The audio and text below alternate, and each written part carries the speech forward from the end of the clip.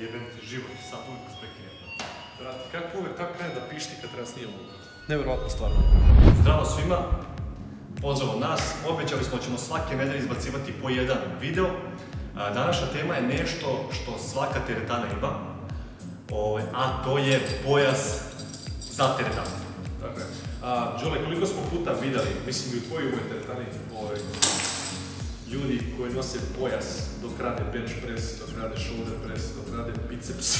Lik veže pertu i nosi pojas u teretanu.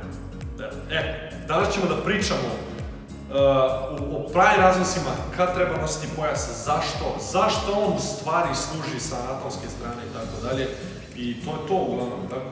Ostanite sa nama, vidjet- ćete definicije svega ovoga. Kod dosta njih je čulo da se pojas koristi da bismo zaštitili leđa ovaj, mi ćemo vam sad objasniti kakve to veze ima sa povredama, da li uopšte ima veze sa povredama, to ćemo objasniti vas. Pojas u teretanama služi radi nekih. Prošli. Ne, Mala šala, naravno, ne. Ovaj, pa da mnogi misle, da, da, Ne. Ovaj, uglavnom nosioci ovog predmeta oko struka su bodylifteri, powerlifteri, strongmeni, a, ljudi koji e, dižu abnormalno velike težine i ako njih sami pitate zašto koriste pojase, oni će odgovoriti pretežno da bi zaštitili svoja leđa. Mada prava uloga pojasa je da se podigne intraabdominalni pritisak koji će stabilizovati kičmeni stup pri vežbama koje iziskuju velika opterećenja, kao na primjer ključevi, mrtvo dizanje, i ostale, da, ono, ostale neke vežbe. vežbe. Da, da. E sad, uh, uh, kada pričamo o opterećenju, mislimo na opterećenja koji iziskuju više od 85% od maksimuma. To jest jedno ponavljanje da možete da izvedete. Ko su zapravo ljudi koji smeju da nose pojas? Pa pre svega ljudi koji e, se ne bave disciplinama u kojima treba da savlade, savladavaju veliko spoljašnje opterećenje, apsolutno nema potrebe da nose pojas. Ljudi koji imaju problema sa srcem također ne smiju e, nositi pojas koji je zategnut uz, uz abdomen zbog povećanja krvnog pritiska. Ljudi koji prečesto nose pojas u svojim trenzima dok izvode vežbe kojima je on potreban i koji nije, značajno utiču na oslabljenje trbušnih mišića koji bi se inače bez tog pojasa sami kontrahovali i a, pravili svoje primarne funkcije kao što su zaštita i stabilizacija organizma. Moramo naučiti kako tkivo reaguje i čime ga povređujemo. Lošom tehnikom izvođenja ga povređujemo i lošom tehnikom disanja ga također povređujemo. Analize e, anatomije i biomehanike su pokazale da postoji prirodni pojas koji sačinjava sa prednje strane e, trbušni zid i sa zadnje strane lumbarno-dorsalna fascija. Ako obe ojačamo specifičnim metodama i e, unapredimo kontrolu mišića i naučimo ih da, da sarađuju zajedno sinergično kao tim, poboljšat ćemo uveliko stabilnost leđa. I smanjiti rizik I naravno, apsolutno, ne ide u drugo.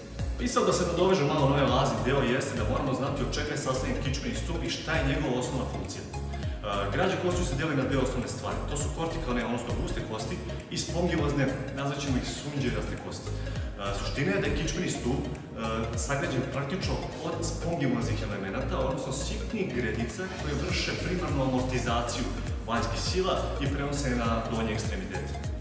Istu takvu funkciju imaju diskusije koje se nalaze između kičmenih pršava. Ali šta se dešava kada stavimo pojas i vršimo samu inhibiciju na, se, na te pršave, odnosno skratimo njihovu mogućnost amortizacije. Napravimo strano telo koje ukrućuje ono što je Laza pričao malo pre trbušne mišiće, a, zapravo činimo ekstremno lošu stvar po našu kičmu i konačno zdravlje.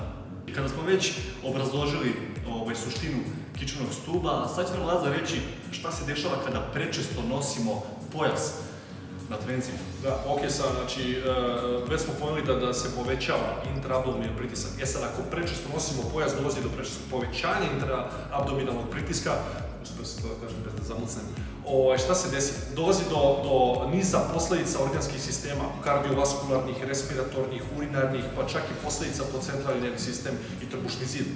I za kraj ovog videa šta je naša preporuka ako ne želite da povredite leđa, to svakako nije nošenje pojasa, već naučite pravilnu tehniku izvođenja, unajmite nekog ko će vam pomoći, naučite pravilne tehnike disanja, kao što je recimo DNS ili vasalno manevr, koji koriste uh, takmičari za podizanje velikog spodnog opterećenja bez povreda. I treća, uh, nemojte se baviti sportskim treninzima ako ne živite kao sportisti. Apsolutno. Ako želite više informacija za naučne istraživanja uh, u vezi biomehanike kičmenog stuba, potražite knjige doktora Stuarta McGilla. Čikica je vanserijski Stručnjak. stručnjak ili genijalac za biomehaniku kičmenog stuba i stabilizaciju i tako dalje. To bi bilo to za ovaj kratak video, nadam, smo- nadam se da smo vam pomogli. A, da li vi imate a, iskustva ili pitanje u vezi a, nošenja pojasa na treningu, kako se vama to čini? Ako ste zadovoljni ovim videom, lajkujte, subscribeujte i To bi bilo to za danas. hvala vam Do sljedećeg puta. Ćao!